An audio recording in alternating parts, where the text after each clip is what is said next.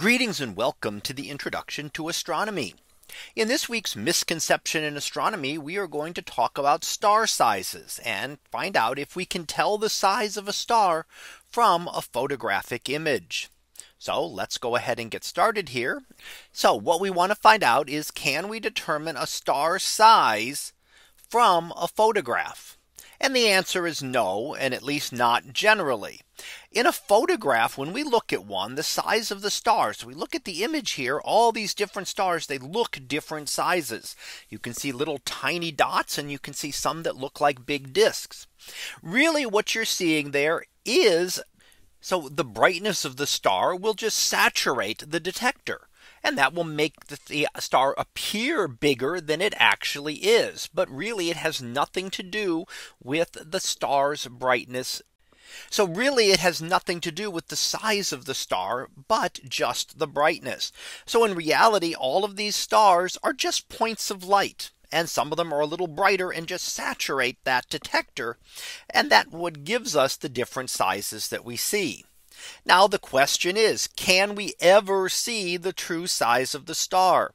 And the answer to that is very rarely. It takes an extremely large star extremely close to Earth to see that. And the best case of that is the star Betelgeuse, which was imaged in 1996.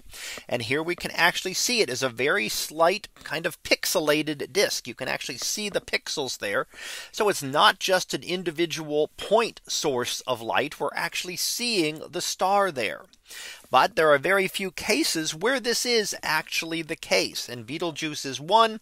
And there may be others by now. So how then do we determine the size of a star? How do we measure that star size if we can't see it directly? Well, there are other methods that can be used as well. And those include things like occultations. So here's an example of that where we see a star very close to the limb of the moon. Now while it doesn't look like the limb of the moon there, what you're really seeing is the star very close. You can kind of imagine if you can see the faint limb of the moon here kind of coming up very, very close to the star there. So here we have a star just uh, very close to the limb of the moon. Now, how does that help us determine anything? Well, we can use that to determine by the amount of time that it takes this to happen. How long does it take that star to disappear behind the moon? If it is so far away that it's just a point, it would disappear right away. It would be gone. It would be there and then it would be gone. If it's a little bit bigger and has a slight size to it, even if we can't see that, it will take a little bit of time to disappear behind the moon. And we can use that in various measurements to then determine the size of a star. Another way we can do that is with eclipsing binary stars. So if two stars and one passes in front of another like this, we can look at their light curves and you can see as one star is eclipsed, then you're going to have a dip so when one star passes in front of another, you'll get a dip. You'll get a small dip when the fainter star is hidden, in this case, the red star. You'll get a bigger dip when the blue star is hidden, or at least partially hidden, because you're blocking out more of the light from the system. Now how it dips tells us something about the sizes. The faster it drops to the peak, the the the smaller the star is. So a very small star will disappear quickly.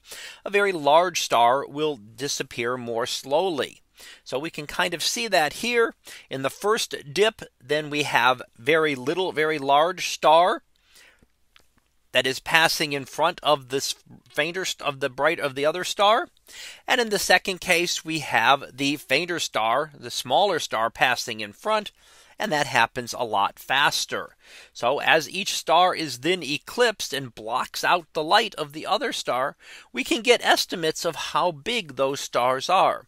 Now, of course, you'd want multiple measurements of this to really get an accurate determination, but it does give us a way to be able to measure sizes of the stars. So let's go ahead and finish up and summarize here. And what we've looked at is, first of all, that that when we look at a photograph, the size of the star tells us about the brightness. not the true size in space. So the size on the photograph is not related to the true size of the star. Betelgeuse is one star that has been imaged directly that we've been able to see. And we talked about several other, other methods that can be used to measure the diameters of stars. So that concludes this misconception in astronomy, talking about uh, whether we can determine the size of a star from a photograph. We'll be back again next week for another misconception in astronomy. So until then, have a great day, everyone, and I will see you in class.